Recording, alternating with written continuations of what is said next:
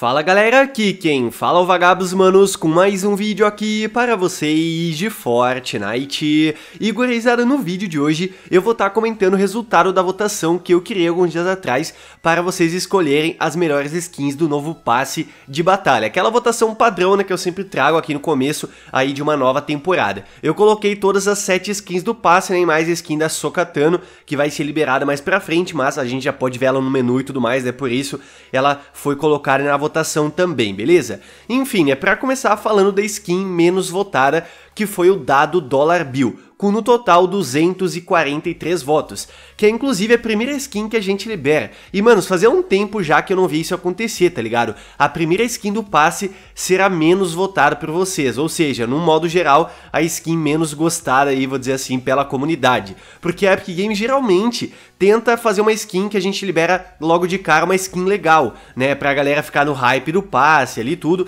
A gente sabe que isso é meio que um padrão da Epic Games, mas eu não sei se eles erraram no dado do Bill ou realmente não quiseram fazer uma skin tão da hora aí pra gente liberar logo de cara, mas o fato é que realmente é uma skin que não chamou tanta atenção. Muitas pessoas, inclusive, falando que ele é uma cópia do Paraguai do Midas, tá ligado? Como se fosse um Midas completamente piorado e de certa forma até que faz um certo sentido, né? Ele até combina um pouco. Não é uma cópia, vou dizer, mas é um pouco parecido sim, né? Mas acho que não deu certo, muito menos perto do Midas, né? Pela quantidade de votos, a galera realmente não foi muito com a cara dele. Agora, a sétima skin aqui da lista é exatamente a skin de parceiro com Star Wars, a Sokatano, com 305 votos no total. Como eu falei agora há pouco, ela não foi liberada ainda, vai ser liberada mais pra frente, mas pelo jeito não agradou tanta gente assim. É que é, é o seguinte, né? Quando a gente fala de skin de parceria, sempre aquela parada um pouco delicada. E eu já percebi já faz um certo tempo que o pessoal já tá de saco cheio de skins da Marvel e também do Star Wars.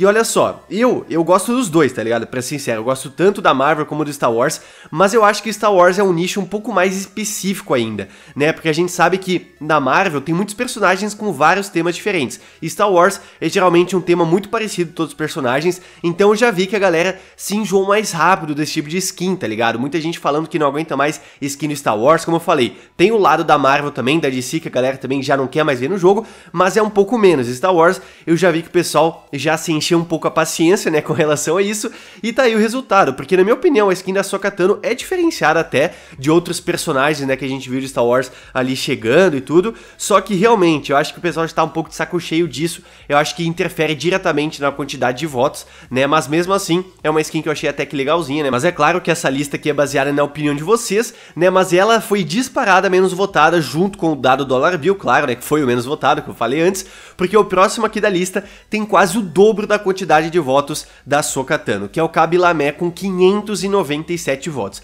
Eu não sei falar o nome desse TikToker, tá? Já peço desculpas. Eu não sei se é Kabilame, Kabilamé, e mesmo se eu souber eu vou falar errado porque é um pouco complicado, mas enfim, essa skin aqui me surpreendeu positivamente, porque antes do passe ser lançado, um dia antes, a galera já descobriu, né, que a skin dele ia chegar no passe, né, teve anúncio da Epic, e eu vi muito hate em cima desse personagem, né, em cima do TikToker, falando, ah, que diabos a Epic Games quer trazer ele pro jogo, que tipo de parceria estranha, né, e tudo mais. E, manos, isso mostra que não tem nada a ver uma coisa com a outra, porque a skin, de fato, quando o passe chegou, não vi tanto hate como eu achei que ia ter, né, a galera viu que o personagem ficou legal, a Epic Games até, né, fez alguns estilos com relação ao tema da temporada, por isso que eu falo, eu acho que essa parada de parceria só vai, digamos que, infringir a opinião da galera quando realmente ah, o pessoal já tá de saco cheio, assim, de skins, como eu falei antes, Star Wars, Marvel, que realmente a gente vê muita gente já uh, não tendo muita paciência com isso, mas essas parcerias aleatórias que acontecem de vez em quando, tipo que é esse caso aqui, né, do TikToker, que foi realmente muito aleatório,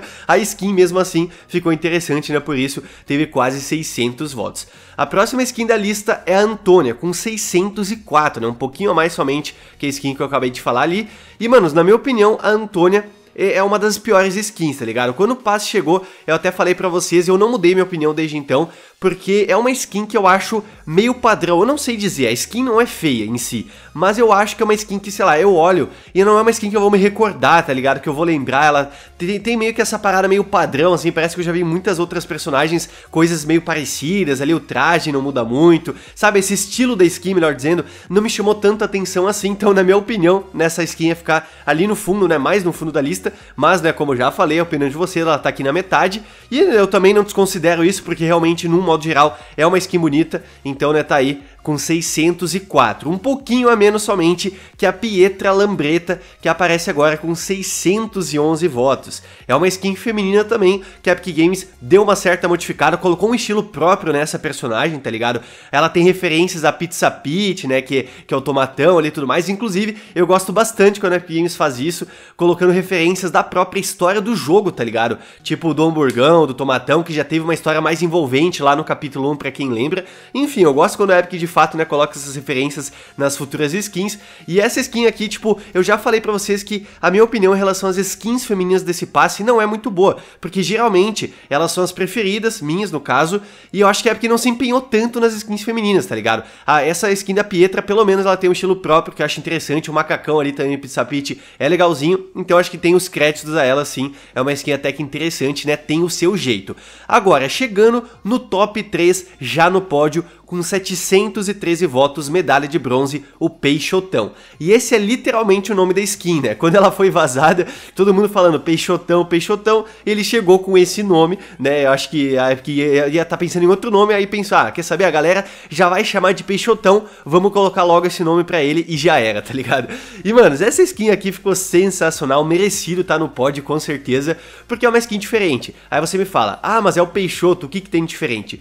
Tudo, tá ligado? A gente sabe que o Peixoto é um personagem que sim, a Epic Games traz muitas vezes pra loja, versão diferente dele, só que essa versão do Peixoto é completamente diferente, muda todo o personagem. Geralmente só muda a roupa, alguma coisinha ali, sabe? E esse personagem é completamente novo, ele só é o Peixoto mesmo, né? Mas ele é musculoso, é altão, tem um bonezinho, tem uma regata ali de bodybuilder, tá ligado? Eu achei sensacional essa skin, eu gosto muito na skin com essa temática de músculo, principalmente as skins que já são meio que da zoeira fica mais engraçado ainda. Enfim, né, eu gostei bastante do Peixotão e pelo jeito todo mundo gostou também, tá aqui na terceira posição. Só não teve tantos votos como a skin mais votada, que eu vou falar logo de cara, né, sobrou a Matrix e o Koji Datura, ou Koji Datura, enfim, e o mais votado foi o Koji Datura com 955 votos. Fazia tempo já que eu não via a primeira skin de uma lista aqui de skins do passe não superar a marca de mil votos, né? Mostrando que realmente foi um passe equilibrado, muita gente gostou de umas skins, outras pessoas gostaram de outras, tá ligado? Mas enfim, o Datura realmente ficou sensacional. Esse aqui é outro personagem que muita gente falou que se parece com o Midas. A gente sabe que essa temporada em si já se parece muito com aquela temporada do Midas e a galera tentando encontrar semelhança também com o próprio personagem. E realmente, né, parece que o Midas tá meio que em quase todo personagem masculino, assim, ele, pra tu ver como a skin marcou bastante o jogo, tá ligado? Mas o Cold né, brincadeiras à parte, acho que ele tem o seu estilo próprio, é um vampiro, tem tatuagem, é muito estiloso também, uma skin sensacional,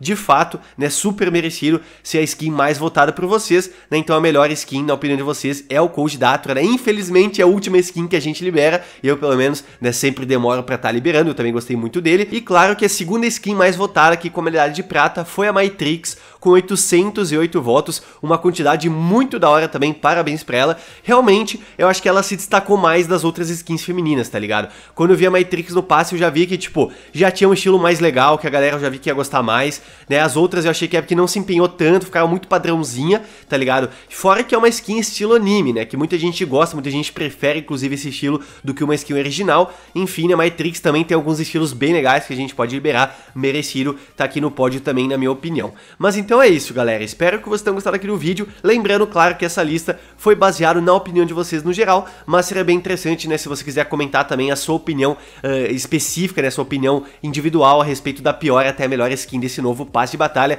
Se você concorda com boa parte da opinião da galera ou não concorda, pode comentar aí também. Mas então é isso, manos. Aquele abraço, se vemos no próximo vídeo. Valeu, falou, e eu fui!